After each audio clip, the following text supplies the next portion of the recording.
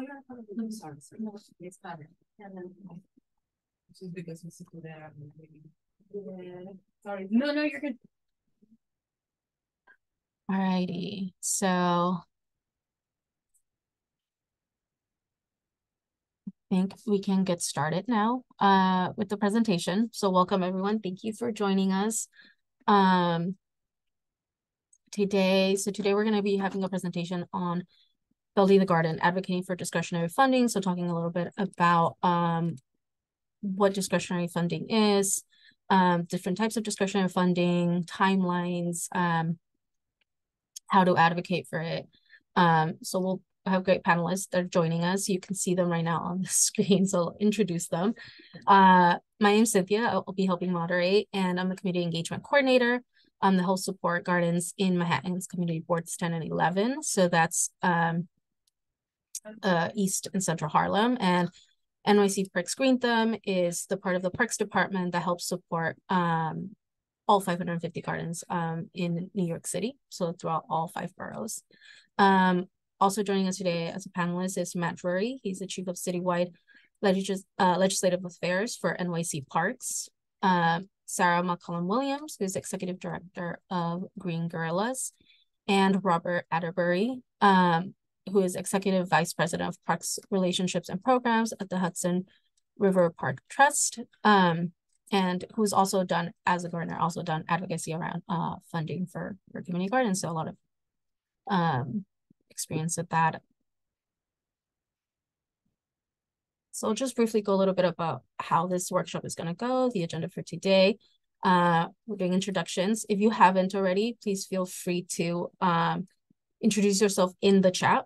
Um, so uh, if you're coming with the garden, what garden you're from, what borough you might be in. Um, if you're not with the garden, that's fine. You can also put, you know, why you're here. Maybe you're you're here just, you know, as an interested resident who wants to do advocacy um, for community projects. So then we'll go into our panel discussion. So um, all panelists will talk about different kind of facets of this advocacy. Um, and then we're going to Q&A. So for questions and answers, please, um, any questions that come up, put them in the chat and we'll uh, read them aloud at the end. Um, uh, colleague Adder will also be, you know, monitoring the chat. So if there's any clarifications that, you know, should happen sooner, they can clarify in the chat. But um, but please uh, just know that those, those questions will be answered at the end. And alrighty, so we are getting started with the presentation. Um, so what is discretionary funding? Uh, discretionary funding uh, is funding from elected officials that can be given towards either city agencies or eligible nonprofits for community projects. And we have two different types of kind of uh, grouping of funding. Uh, we have capital funding. So these are projects that cost greater than $50,000 and represent a comprehensive betterment of, you know, of, of that space for the community. So um, and like uh the project will be in place for more than and the project will be in place for more than five years. So what is a comprehensive betterment? Um you know we see here where it says nuance uh, one single bench you know would not be a comprehensive betterment a single bench that costs $50000 but redesigning a sitting area with you know multiple benches and, and beautifying it that's a project that could potentially uh, that is a comprehensive betterment and that could amount to $50,000, right? So that's that's what comprehensive betterment means. Um, examples of capital projects that have been done in the past are fence installations, um, on-site water installation, sidewalk reconstruction. Um, and this type of funding can only be given to city agencies. So, uh, for example, NYC Parks, that would then help um, the garden uh, with those funds. Um, and then we have another type of funding. This is expense funding. And this is 5000 So a project that would be 5000 to $50,000. Um, examples of this are garden supplies, tools, compost bins, benches, lumber for specialty projects. Um, so, you know, it's still helping out the garden and, and the garden's purpose, but not necessarily this a very huge undertaking and, and redesigning of the space. Um, this type of funding can go to city agencies or eligible nonprofits who can then front the money and get reimbursed. Um, and the words are specific to a fiscal year. So the fiscal year is July 1st to June 30th. Uh, and it must be used within that time frame. So it, it does have like a like a deadline for the for the amounts to be used.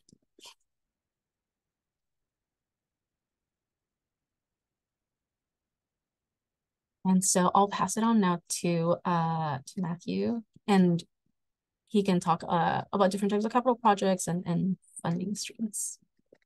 For sure. Thank you so much, Cynthia. And uh, my name is Matt Drury. I'm the uh, Chief of Citywide Legislative Affairs uh, for the New York City Parks Department. So I work really closely uh, with the GreenThumb team, where we're in the same sort of group division of community outreach and partnership development. So we're division mates, and uh, so we work really closely. So thank thank to all the garden groups and, and, and advocates for for joining today's uh, meetings. you know, this has been one in a series of conversations that we've had with our you know with our garden members and other you know park advocates. You know, to try to help equip all of you with the tools to kind of you know uh, you know we all want to make our, our parks and gardens better places so thank you all for your your dedication and, and all the all that you do um, so with that said just really quickly uh, the capital outline uh, that cynthia provided was really helpful but if it's if it's uh, i'll add a, just a, a, a, capital in terms of capital eligibility if i can provide a maybe a, a framework it usually involves construction equipment like it is sort of very you know it is usually substantial. It usually involves what they call earthworks right? Like there's digging and it, there's you know sometimes like large you know heavy construction equipment people wearing hard hats right? Like that's generally capital capitally eligible work you know as opposed to just painting a surface or you know fixing a bench slat or something like that uh, you know for for maybe a, a decent example you know, replacing uh, the backboards or nets on a basketball uh, court are not that is not capital eligible, but reconstructing the court, you know, resurfacing, you know, digging, re, you know, releveling, dealing with drainage, and then and then rebuilding the court. That's you know, that's very obviously uh, capitally eligible. So that to give you a sense of that that framework. Anyhow, so there are lots of great capitally eligible uh, improvements that can be made at gardens. Uh, fencing is a big one. Uh, we have, you know, obviously hundreds of gardens throughout the system, and um, you know, so and there have been some really great uh, fencing improvements that have helped provide, you know, better access. You know, that this can often include, you know, um, making things, you know, more accessible in terms of, uh, you know, ADA standards and things of that nature can be really helpful. Uh, we can hop to the next slide, I think.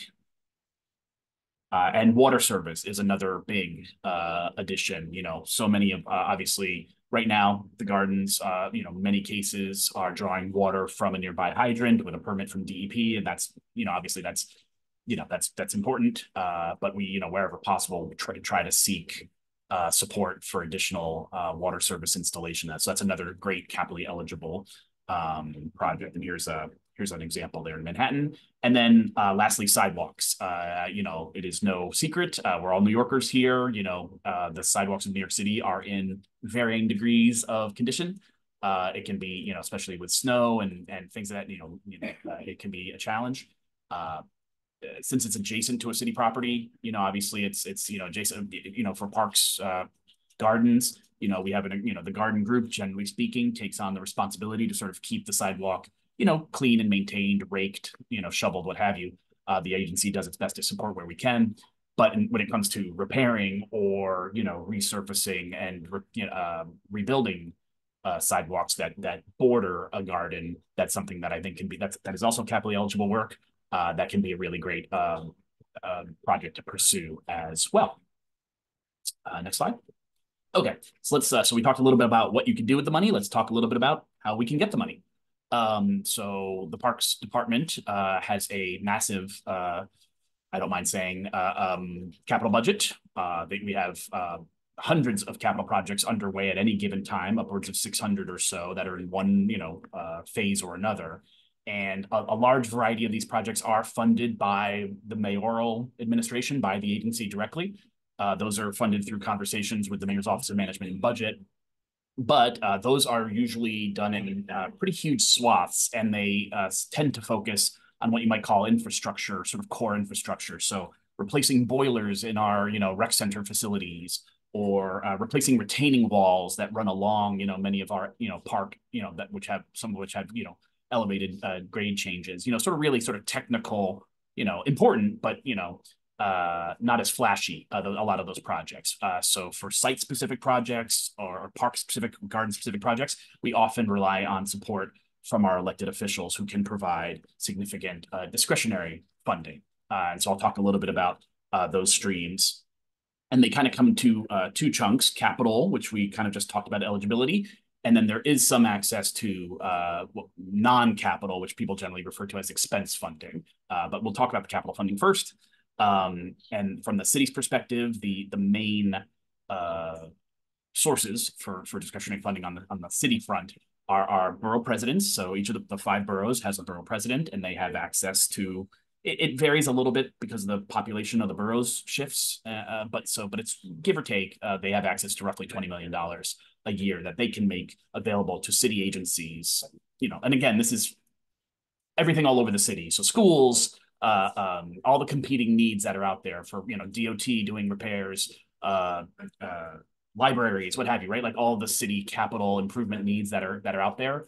You know, so that so the borough presidents have access to some funding that they can designate on an annual basis. Um, and and Parks, I think, has done a pretty good job at working with the BPs to funnel their support in a variety in a variety of ways. And then the city council members, there are 51 council members uh, throughout the city, and they get access to a chunk of discretionary capital funding as well. My understanding is it's somewhere in the ballpark of five or six million a year.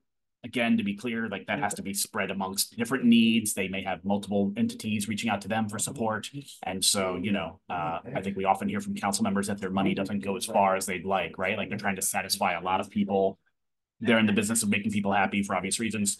Uh, they're, they're trying to help their constituents and it can be a challenge, I know, for them to kind of uh, allocate this, uh, you know, as evenly as possible, although Parks does its best to communicate with them and make sure they know what our priorities are, what we see as the most pressing matters, uh, park related matters in their district.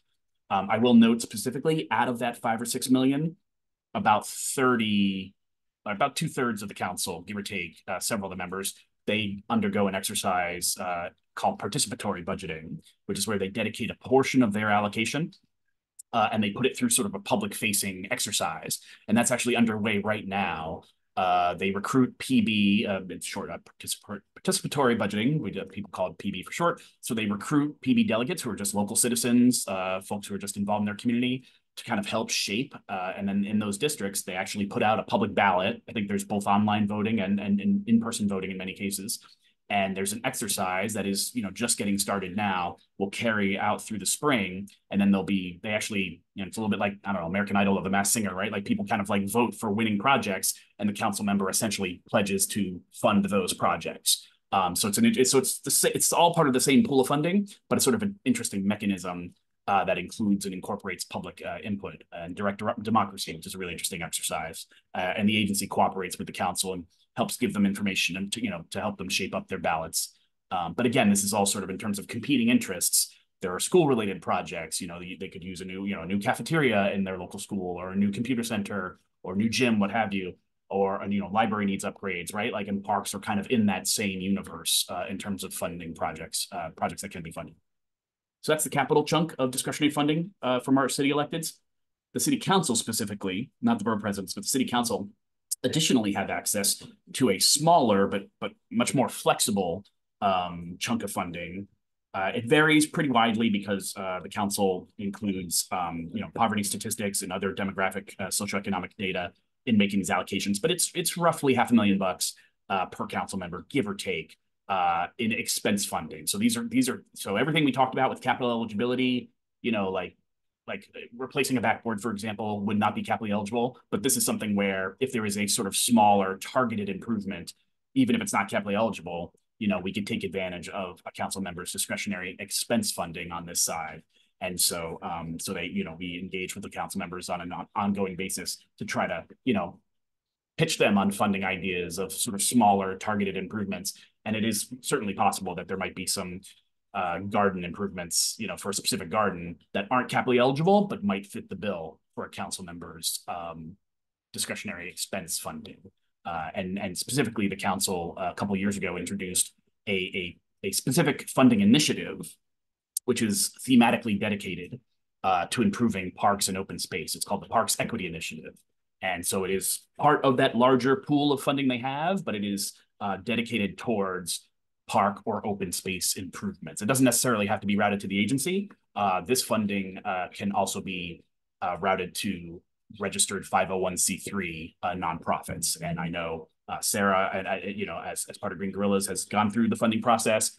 Isn't exactly the easiest to navigate, but she'll I'll let her talk a little bit more about that. But it is there. I know the funding. A lot of really great nonprofit groups have relied on the funding and, and been able to provide amazing services and, and programming uh, with the council support there. So, which we are obviously happy to to champion and, and help support as well. Uh, next slide. Thank you, Matt. So I'll take it from here for this slide. Um, okay, so you've heard of this money now, and you're like, how do I get this money, right? So we can talk a little bit about the process and timeline of how um, garden groups can advocate to receive some of this money for any projects that you're doing um, in your garden. So I highly encourage you if you're considering to um, advocate or apply for some of this money is to meet with your CEC first. Um, so to want to discuss you know keep them aware of uh of plants in the garden to to be able to brainstorm like different ways to to get the funding um and also how to like kind of guide you through this process as well. Um so meet with your cc also green thumb also does our own like internal advocacy um for for funding so we want to make sure that you know whatever advocacy we're doing actually supports whatever needs um and plans that gardens have um so let your CEC know. Um, um, we're more than happy to meet with you all and, and brainstorm and come up with a plan of attack with you all on this. Um, next, uh, during the fall and winter is when you, I mean, during the fall and winter, but it really is ongoing. Um, you are advocate with um your elected uh, official with like local representatives. So, uh, garden garden groups um can reach out to local representatives um start talking to them about asking them for funds uh, to fund whatever project you have in mind, uh, whether it's fencing, whether it's water insulation, um, and yeah, and and and and start like setting up that relationship and talking to them about your plans, um, for the for the need for this uh, discretionary funding, um, and then afterwards in June or July, that's when the budget gets announced. So that's when you know, you find out whether or not uh, the gardens receiving like specific funding awards. Um, sorry, that's when when the budget gets announced, but then um, specific funding awards may not be released until the following January or February. So um, budget gets allocated in June and July, but we might not be finding out till January or February. Um, next.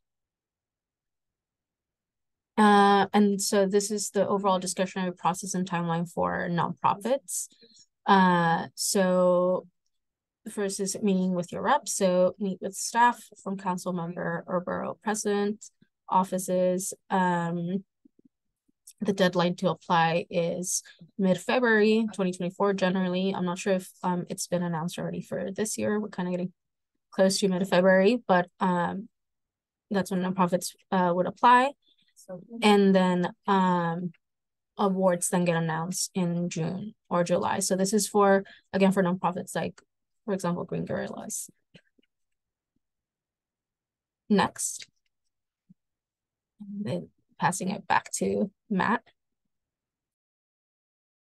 Yeah, I can talk a, a little bit about the the agency. This is the city's sort of capital project uh, process. So regarding again, this uh, capital funding usually is allocated towards you know what you might call like substantial construction like rebuild you know there's usually some diggers and you know construction uh, contractors et cetera so these are usually more substantial projects um, so i will talk a little bit about our you know it's the the city's general process um, which can range from you know the rebuilding of a seating like a triangle seating area to you know an entire you know a pool reconstruction like you know rec center project uh, but this so these are very broad strokes but i'll talk a little bit about the capital process um, Firstly, we have what we call our project initiation. This is when our capital team kind of, you know, make sure that we have the funding that we need in hand. Uh, they assign design staff uh, and they start to engage with the public about how we want to, you know, uh, any specific changes that are needed there. So if we're doing a full reconstruction of a playground, for example, we quite often hold a community input session where people can come and kind of opine about,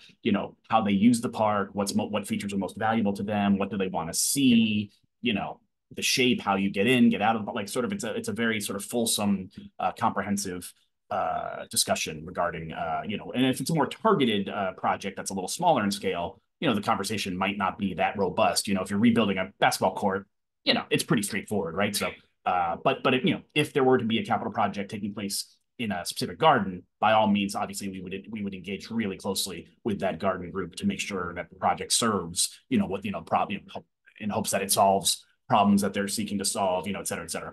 Uh, then we enter into the design process, which is uh, pretty considerable. It's not as simple as, you know, just sketching something out on a piece of paper. It is a, uh, you know, most of these projects are really technical from an engineering standpoint. again, there is usually sort of earthworks and, uh, uh, you know, drainage and a lot of really technical sort of engineering and, and uh, architectural kind of issues that need to be solved. Um, you know, so in addition to the design, that also includes going through the city's design approval process, which usually involves uh, engagement with uh, the local community board. They, they, you know, they're usually apprised of these projects and they, they get, they have advisory uh, uh approval uh, role there, as well as the Public Design Commission, uh, that which is the city's sort of artistic referee, for lack of a better term, or the landmarks division, which uh, um, commission, excuse me, which you know for certain properties and you know not, not very many in the garden world, I don't believe, but uh, but have have a role to play there as well and then also just you know various permits that need to be obtained you know that's all sort of part of the design process. So it can take upwards of a year give or take uh, sometimes a little more. And then you know again these are usually substantial con uh, construction projects. Uh, the city doesn't really have construction workers on payroll like it's you know little known fact. When you see sort of a city project happening it's paid for you know through tax dollars and all that but the, but it is actually outsourced to an independent construction contractor to actually do the, you know, the actual work on the ground. And those projects are assigned through the procurement process, which is a very tightly managed uh, it's the city's, you know, uh, so you have to qualify as a contractor to do business with the city. It's a very, you know, it's very complicated to ensure that, you know, contracts aren't being awarded inappropriately or, or what have you. Uh, so there are some really, uh, you know, so the uh, comptroller's office, uh, the, the mayor's office of contract services, there's a, a whole universe of uh, rules and regulations regarding how these projects get put out to bid. But the, the, long story short is that, you know, from Parks' perspective, it is essentially a, uh, it's an open bid process where, you know, it's a competitive sealed bid, bid and, and, and the, you know, so there's a review of these bids and essentially this, the agency is compelled to accept the, uh, the lowest uh, bid, you know, the most cost effective bid from the uh, from the from a responsible responsive bidder right? So there's all these sort of uh, rules attached to that. But anyhow so that that you know that involves a lot of legal reviews and uh, you know obviously advertising the bids and and all and and uh, you know reviewing the responses. That's a very time consuming process as well. That can take you know nine to, to nine months or upwards of a year uh, and then the construction itself this can vary widely uh, obviously depending on the complexity of the project how big you know, but uh, even smaller projects, you know, it's it's uh, you know pretty striking how long it, you know construction just can take a long time in New York City. That is just a reality. And then when you account for things like weather, you know, cold weather delays, it's very hard to do any sort of ground moving or uh, digging, you know, in the winter months, for example, just because you know because the, the uh, you know the, the surface gets too cold. Anyway, there's all these sort of things that can start to kind of, you know, so when you add it all together, it you know even for a, a fairly modest project, it can take uh, upwards of three or more years to see it through from you know from alpha to omega. And that you know i think a lot of people are struck by that you know but but uh, you know because uh, we all think of sort of construction just when you see you know the hard hats and the construction fencing but the, as you can tell from this grid uh, there's a lot that kind of you know uh, leads up to the the construction itself. But and uh, it's a it's a complicated process for sure. And so the garden processes, uh, you know, in terms of fencing or sidewalk repair or water installation, you know, I think there have been some advantages, you know, because it is smaller, it's a little more scaled down. Uh, you know, construction's not quite as complicated. So I think we've been able to advance a lot of garden projects on a, on a faster pace for sure. But uh, the flip side is that it can be harder to recruit uh, construction companies to bid for smaller projects. They, you know, they're all out there building, I don't know, mega residential towers or whatever. So sometimes, you know, a smaller, more modest project doesn't attract as much attention uh, from from your established, uh, experienced construction companies. And so it's a little bit of a a little bit of a balancing act that we that we strike. But that's that's sort of the city's capital process in a nutshell. Thank you, Matt. So I'll quickly go over um, a few resources that might help you um, as you get started with this advocacy for this funding. Um, if you don't know what community board you or your gardener your garden is in. Um, you can go to this link right here. Um, and the following here to figure out like who your city council member is, um, again, your borough president, um, your elect, uh, state elected officials, your federal elected officials. Um, and if you don't know who your community outreach coordinator is, we also um, have them listed on our website. Um, and like I said, we're all, please reach out to your coordinator and we're more than happy to help you all through this process.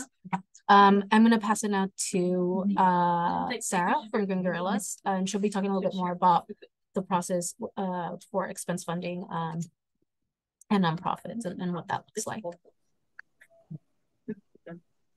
Great. Thank you so much, Cynthia.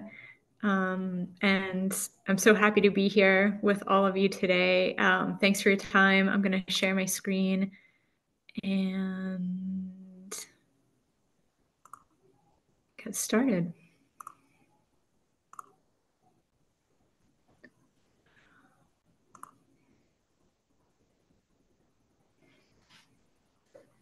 Let's, let's go back to the beginning. Sorry, I started in the wrong place here. Okay, um, so Green Guerillas, like Cynthia mentioned, we're a nonprofit organization. We've been around for 50 years now, um, and we exist to support community gardens. Um, and that support takes a lot of different shapes. One of the things that we do um, as part of that support is reach out to city council members and apply for discretionary funds um, in the different districts where we um, where we work and where we want to supplement our work further. Um, I wanted to just quickly kind of touch on some of our values and the focus areas that we have, and kind of then how that um, leads into the rest of our work. So, some of the things that we value our core values are um, community land use and access, food sovereignty, climate justice, and an exchange of wisdom and about food, nature, and land between generations. So we are interested in kind of helping to foster relationships between gardeners um, and youth, and also in economic initiatives rooted in community action and service and health. Um, and then that translates into the areas that we focus on, which is connecting gardeners with resources, which um, this discretionary funding conversation ties into empowering youth, building coalitions, and advocating for gardens, which is also connected to this conversation today as well. Um, and, and, so I wanted to just share a couple of examples, um, you know, of different um, applications that we've submitted and different um, ways that we've used discretionary funding. Um, and this is just the example from um, our current fiscal year. So during this fiscal year, which started um, uh, July 1st, uh, 2023, and runs through June 30th um, of this year, 2024 um, Green Guerillas applied for and was awarded the following funds in the districts that are highlighted here. So we have funds, and we have, you can see it's a pretty big um, array of different award amounts. Some are pretty modest, um, like uh, in Council District 2 from Carlina Rivera, we have $10,000 awarded, but there are like 42 community gardens in Council District 2. So that doesn't necessarily translate into a ton of projects that we can do um, versus, for example, Diana Ayala or Chi Ossé, um, who are supporting, you know, um, at different levels there that allow us to do a lot more within their particular districts. Um, and we applied through these funds through, um, I believe Cynthia mentioned the yearly discretionary funding application process that um, is open to nonprofit organizations. Um, and that funding deadline is coming up really soon. I forget the exact date. I just submitted our application, so I don't remember the, but it might be the 15th or the 20th. It's coming very soon. Um, so just to share a couple highlights of some of the things that we've been able to do and projects we've been able to support using discretionary funds. Um, and, and we kind of the way that we um, sort of decide how to use the funds when a council member grants us the funds is kind of a multifaceted way. So we talk with the council member's office.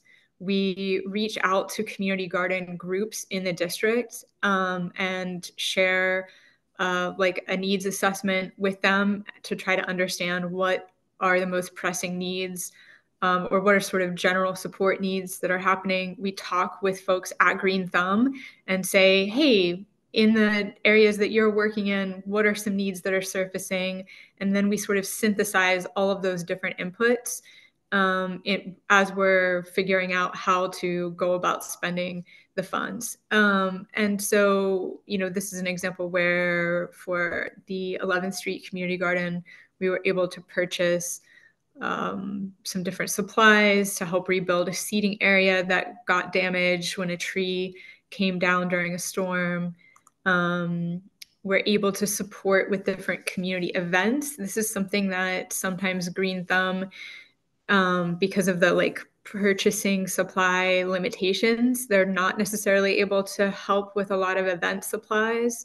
So we love to help in the districts where we have discretionary funding. We love to help groups um, with supplies for for their community events. So this is an example of an Earth Day event, and we were able to, you know, provide a lot of different supplies to assist that garden. This is the Hattie Carthen Community Garden in Bed-Stuy, um, to be able to support that event. Um, and to even help build smaller areas within a garden. This is also the Hattie Carthen Community Garden this is a small children's area within the garden um, that doesn't rise up to the level of a capital project. It doesn't take $50,000 to do, but it, it does take a little bit more than you know the garden has has access to in and of themselves so we're able to work with the garden group and work with the city council members office to open up the discretionary funds that we were granted in order to um,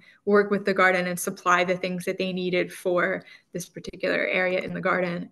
Um, and then purchasing other types of you know supplies. We've been purchasing these metal raised garden beds, um, little greenhouse kits, some of the other things that we can purchase that maybe GreenThumb can't purchase. You know, another example of that is um, like books for the children's garden area. This is for La Isla.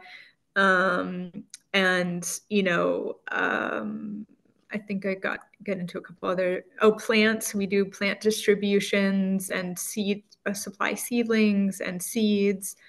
Um, and then also this is another form of event support where this is from uh, Padre Plaza um, Success Garden in Mott Haven.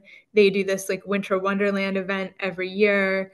They distribute hats and gloves, and to- they give away one toy each. They typically um, bring in about 300 kids from the neighborhood for this event. It's extremely pop- popular, and it's a wonderful way for the community to spend time in the garden, get to know the garden, and you know also use have the garden operate as a resource center and a gathering place for community. We love to be able to support things like that. And we can use, in this case, discretionary funds from uh, Deputy Speaker Diana Ayala to support those sorts of things. Um, and then sometimes we can do like deeper engagements. This is, um, and we probably should have tried to do a capital campaign for this. Uh, Matt, I don't know if you've heard the story of this crazy way that we did this fencing project, but this is at La Finca del Sur, um, which is in the South Bronx, and they were having, they have a complicated land use and um, the land, the way the land is separated there, the ownership of it is complicated. So it's it's sort of on this triangle between the Major Deegan and the Metro North, and part of the land is owned by the MTA, and part of the land is owned by the Parks Department but then, of course, they also have to consult with and consider what's happening with the Metro North um, hillside as well. And so, even though there was a beautiful GreenThumb supplied fence um, at the front of the garden, the back of the garden was completely unfenced, and people were coming down from the highway or from the tracks on Metro North and just, you know, completely gutting the garden of supplies. There was a lot of theft that was going on. Um, and it was just a problem that had lasted for a really long time. And because of the fact that the land itself was shared between these different entities, sort of each agency was saying to the other agency, well, this isn't my problem, this is your problem. No, wait, that's not my problem, it's your problem. And there was a lot of like talking at cross purposes. Nobody was sort of willing to actually get a fence up in the back of that property and help to really adjust, you know, address this problem in a long-term way. So since we're operating outside of the city government, we were able to work in conjunction with the council member's office and with the garden group, and then ultimately with Metro North, MTA, and parks to be able to use discretionary funds to do this fencing project in multiple phases. Um, and so we did phase one, we did phase two, and then the Parks Department um, has now committed to do phase three, which would be to fence just the portion that is on Parks property. So, um, so sometimes, you know, it's it's it's as simple as, you know, um, supplying um, things for a community event. Other times, it's something more complicated, like a garden group is really having a sort of intractable problem and how can we assist to help solve um, so this is all to say that nonprofits like Green Guerillas can access funds to benefit garden groups um, and you know that's because you know there are a number of factors that are involved in this one is that it takes a certain amount of staff capacity for just securing and administering the funding. It takes a lot of time, a lot of effort. Um, there's a very, since these are all funds that are given on a reimbursement basis, we have to put up the funds up front and then we have to wait for a period of time afterwards for the city to reimburse us. Sometimes that period of time is as long as a year or 18 months after we've spent the funds. So we have to wait for a long time uh, for those funds to come back to us. And we have to submit, in some cases, multiple hundreds of pages of reimbursement packet with all the details of every single transaction. So it, it does take a lot of time to just administer the funding. Um, and then also takes relationships across networks um, you know being able to work with a city council member um, and go to them and talk about the needs of their garden group of garden groups across their whole district as opposed to just the needs of one particular group you know being able to share from a broader perspective can sometimes be uh, compelling for a council member. And then of course maintaining you know that ongoing outreach and relationship building with elected officials can also help build visibility and support for funding needs. So for example when we finished the phase one of the project that we did for the fencing um, at La Finca del Sur, we invited Deputy Speaker Ayala to speak at the dedication of that fence and acknowledged and thanked her for that and you know continued to acknowledge and thank electeds invite them to events and just maintain that sort of relationship with them. Um, some tips about pitching projects to electeds. And I think Robert will go into this, so I don't want to go too heavy into this, but just the importance of setting the context, calling and emailing your council member's office to request a meeting, letting them know you're a constituent, talking with them about how long your garden has been serving the district, what types of things your garden does that serve the district, define the project, be succinct about what the need is, what the project is, what what issue does it address, what resources do you need, and then share the impact. Why is this important? Uh, how is this going to impact not only the garden group but also the neighbors, the broader neighborhood around the garden? Um, and you're also welcome uh, to reach out to us if it's possible for us. We're happy to share meeting time with electeds um, or resources or in, make introductions and include your garden needs when we make requests to electeds. Um, we're in the mode of that right now. So um, that's, and it's always a good time. There's never a bad time. You know, if, if a need pops up in, you know, a time that's not right in the middle of the budget season, we're not shy to go and voice that to one of the council members and and typically you know they're able to do something um, or at least say we can help next year or something like that um, and then also I want to just invite you all to some upcoming advocacy trainings and meetings that we have happening um, since the city is in the midst of a fiscal crisis we think it's a really important year to be really active in advocating for the needs of community gardens specifically to address gardeners needs um, to articulate budget priorities for community gardens to be able to ensure their growth and sustainability. So we have some meetings coming up on the 17th and on the 24th and then we have a two day um, advocacy training that's happening that's called Empowering Community Gardens, Building Your Advocacy Toolbox.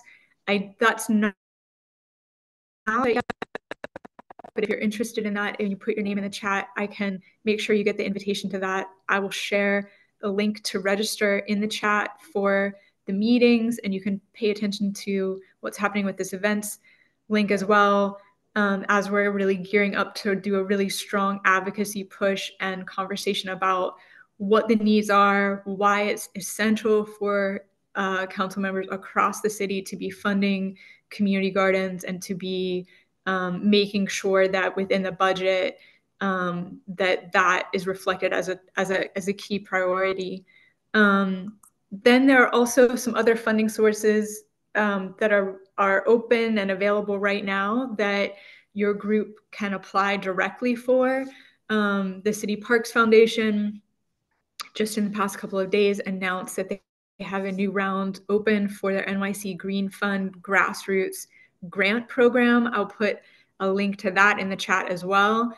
Um, and that is funding support from anywhere between $1,000 to $40,000 um, for a year, depending on the size of the group, the size of the need and the request, et cetera. So I'll put a link to that because that's, an, that's a way in which um, your garden group does not have to be a 501c3 in order to apply for this, unlike the discretionary funds. For the discretionary funds through the city council, your group has to be a 501c3 in order to fill out your own application. You can advocate for funds, you can work with a nonprofit to get funds to support your garden group, but your garden group in and of itself can't apply for those funds unless you are a 501c3, which some garden groups are. But this particular other funding source through City Parks Foundation, you don't have to be a 501c3 in order to apply for. The application is open now. So I'll share a link to that as well um, in the chat. And I just wanted to also take a moment to thank all of you for your incredibly vital work. Um, and I'm going to turn it over back over to Cynthia. Hi, everyone. So we have one last panelist, uh, Robert Atterbury, Executive Vice President of Park Relationships and Programs at Hudson River Park Trust. So I'll pass it You're to gonna Robert. Doing water stuff. Hi, everyone. Uh, Also to garden. You'll And be I, public uh, comment. sorry. Hi, everyone. Um, I know we're running short on time, uh, so I will try to be uh, quick and to the point.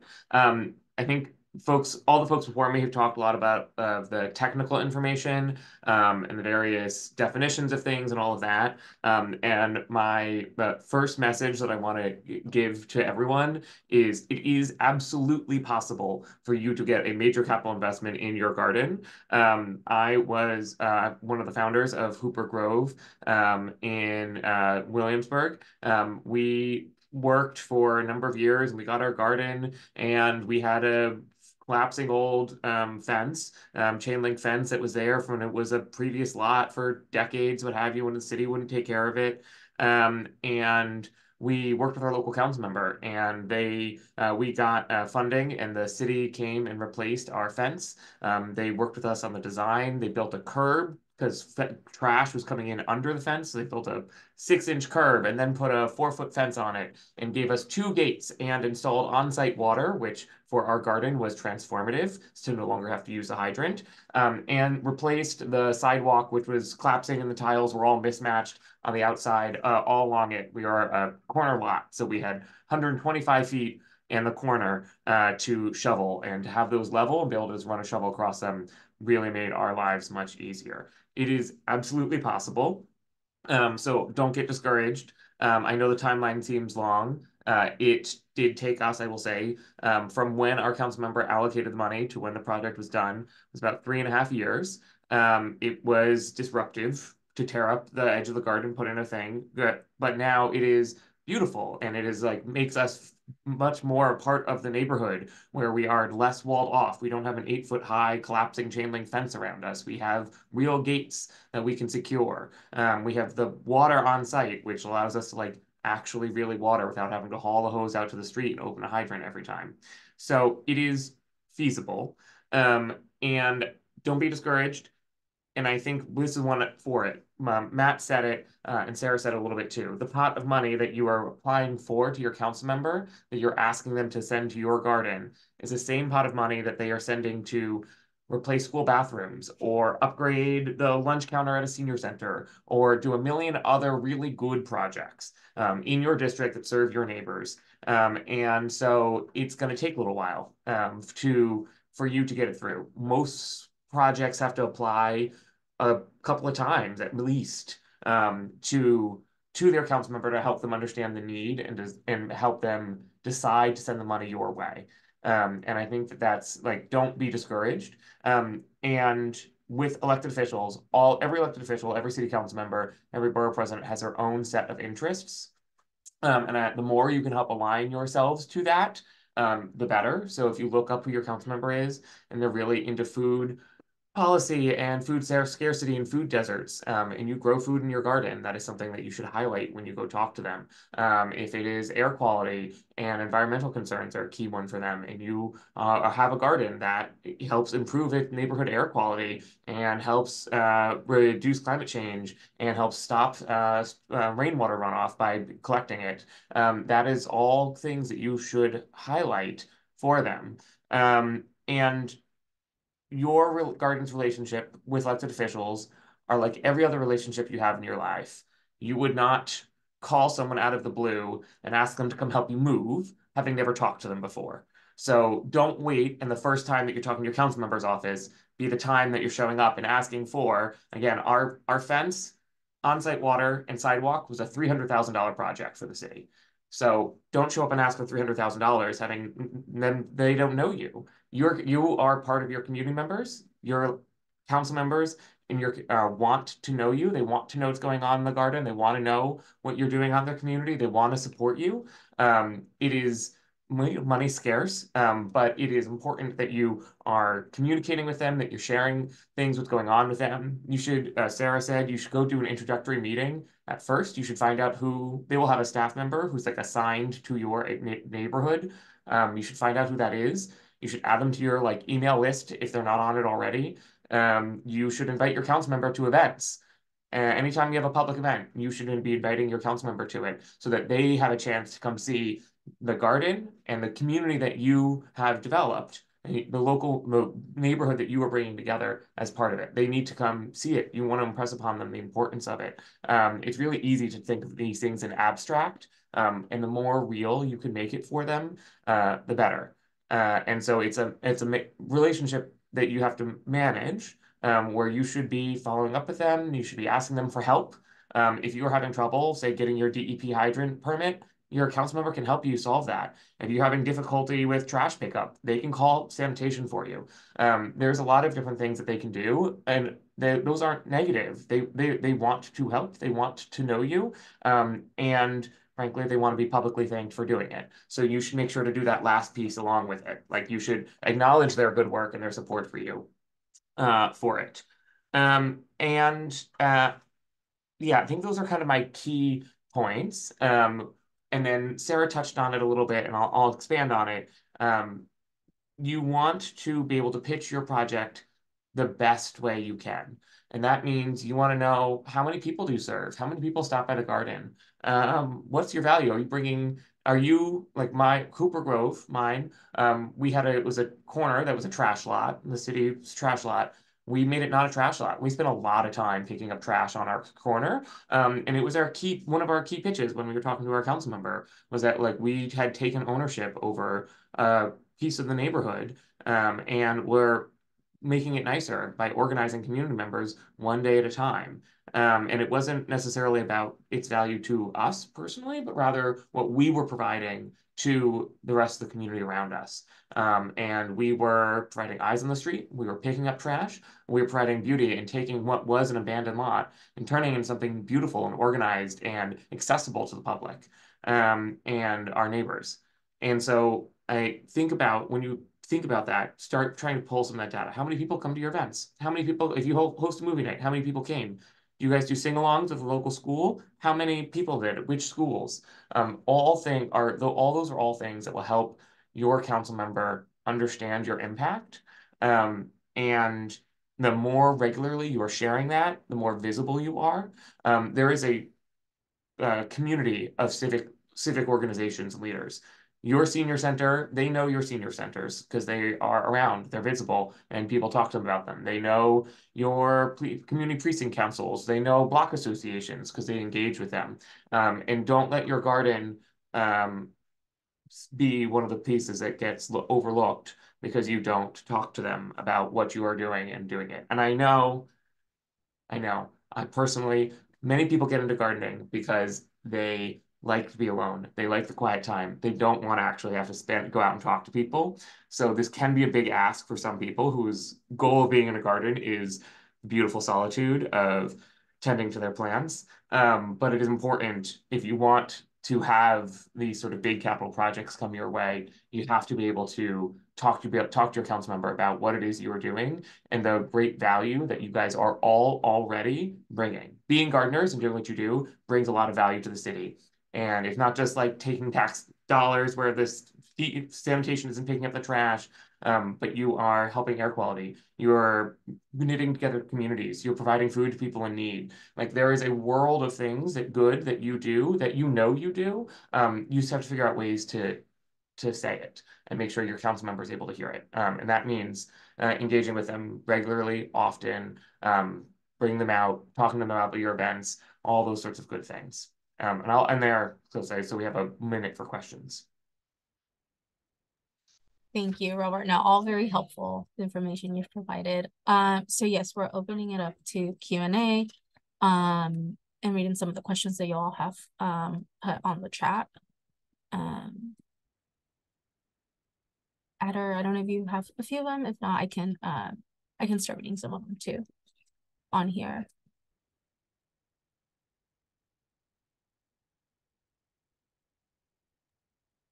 Hi, Um, yes, I do have some questions. I was trying to spotlight everyone, and oh, I can't okay. spotlight Sarah for some reason, but Mhm. I'll work on that after I ask this question.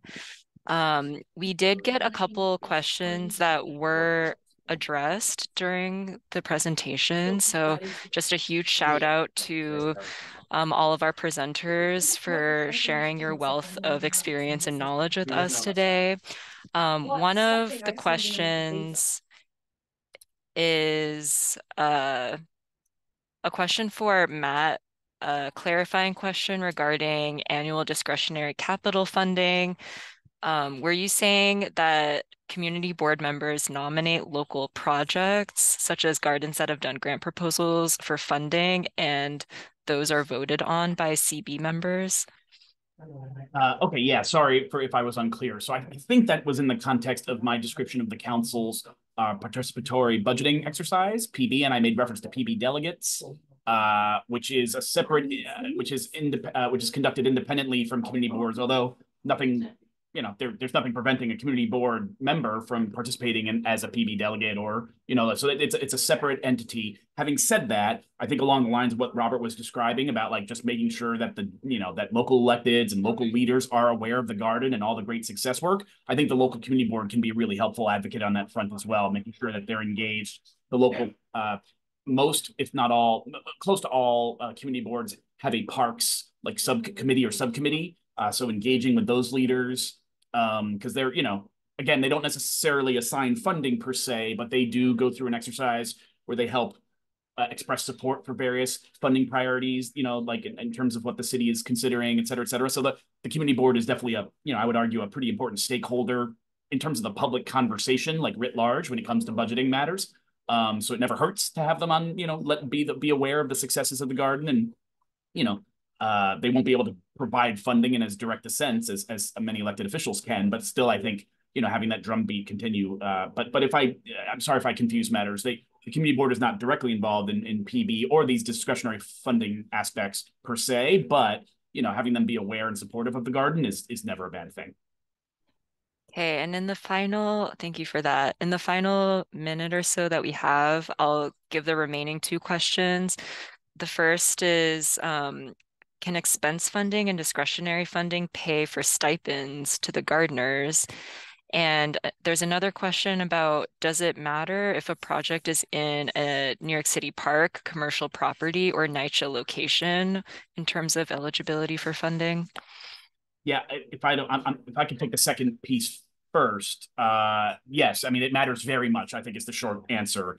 Uh, the the the ownership and jurisdiction of the of the garden is essentially kind of dictates how or it can get funded. Like that kind of sets the ground uh, groundwork, if you will um, for how that funding can be. So for example, for if, if you are a GreenThumb garden, which is to say a community garden on parks property, like city property under parks jurisdiction, you have a license with GreenThumb, right? Like if you are one of our gardens, then any capital work on that site would be advanced, has to be advanced by the agency, right? Like, so even if you have a license with us to help care for the garden and we have an agreement with you as a garden group, that that would you know you would not be eligible to receive capital only you know only the agency could you know receive capital funding to improve its property city property. Um so and and if you are if you are a garden on NYCHA property that comes with some I mean, NYCHA's you know it's an authority not an agency. It's a sort of a, so that's a that's an you know that's a that's sort of an added complication there as well. Or you know you could be just a land trust garden that's sort of privately held and I think you have a little more flexibility but at the same time, I'm not sure there's quite as much availability for, for council funding to be directed towards you on the capital end.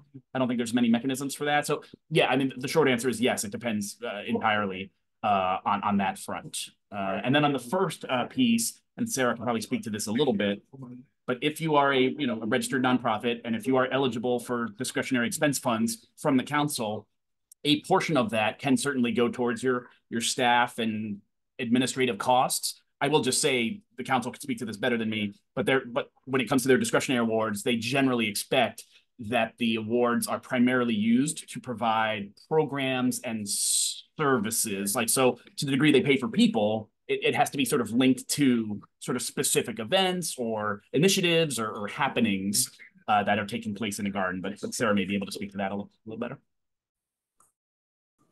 Um, I'm actually not sure how like so for instance we do use a small portion to to cover some staff time. Not much you know as matt was saying the the the lion's share really goes directly to supplies etc but we do use a small portion. But i don't know like we've we've thought about can we use any of that to pay any gardeners directly but since they're not on staff with us we can't really you know so i i don't know robert maybe you have found yeah I, I was just going to chime in. I, like there are certainly city council expense funding that can pay for salaries. There's grant funding that can pay for salaries but i think for our purposes of this discussion um, like if you don't know that if your question is like can you help pay for vo your volunteers time um, the answer is like probably not really. Like it, it is a huge lift, very complicated, involves lots of layers of legal legalese and bureaucracy that like is borderline impenetrable for professional organizations. Um, so like the con- if your garden isn't going to be able to apply to your council member to say we want to be able to help pay our, our volunteers for their time, that's that's not something that's going to work out. Um, Agreed. A little, I'm gonna say within. Oh, okay. So just want to make sure that um I don't know if any of our panelists have anything left to say on those questions. Um, all right. If not, I'm looking at the time. It's 103. Thank you so much to everyone for joining us for your questions. Again, we're here. Um, you know, if you have any follow-up questions that maybe you think about later or we just didn't get to, you can um definitely reach out to to us, to me, or or or to um your CC, and we can help also connect you to other, you know, the people who were here and, and ask those questions as well. Um, so thank you so much for, to our panelists. Thank you so much for that information. I learned a lot as well, and I'm sure you all did as well who participated. And uh, yeah, uh, thanks for being here, and I hope you have a a great day. Um, also, yeah, these these slides will be sent to you all um after this, so you'll have the links and everything. But yeah, thank you, everyone.